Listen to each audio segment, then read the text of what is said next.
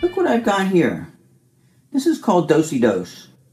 I never really heard of it before, but I called a friend of mine who said it's a famous flower, and now that I've seen it and bought it, I see it's in a lot of stores right now. It came from THC Design, and that's their jar, and you can see there's still a lot in there, because usually that would mean that it wasn't my favorite. But it's an indica. You can see this is a very strong flower, 24.7% THC indica. This is a heavy flower, and anything even 24 and above consider it a heavy flower, and heavy flower is not really my thing, meaning it's got couch lock to it. I like more happy and light, but we're reviewing it today. So this is Do-Si-Dos out of the VaporCup. We've got it set at 335. Let's check it out, see how the flavor is.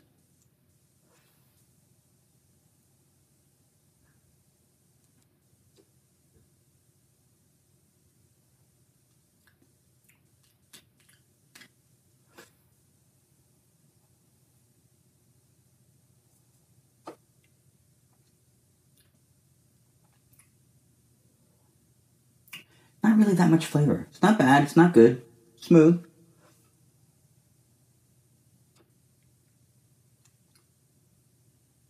With some of the flowers, the, the flavor is just like a joy.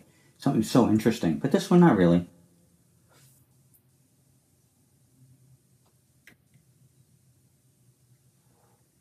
You know, all these reviews are subjective, meaning might affect you differently. I know for me that I've been really an expert on flowers for a long time. And so when I do these reviews, my sole goal is when you go into the store to lead you to the best flower right from the beginning. How do you know which flower is the best? And is Do-Si-Dos the best? I don't think so. This flower is really not for me. It doesn't really taste good. The something something's not really special for me. It's got couch lock. I'm giving Do-Si-Dos a 5.5. Meaning it's a good flower, but it's not for me. This is the doctor. Party on, my friends.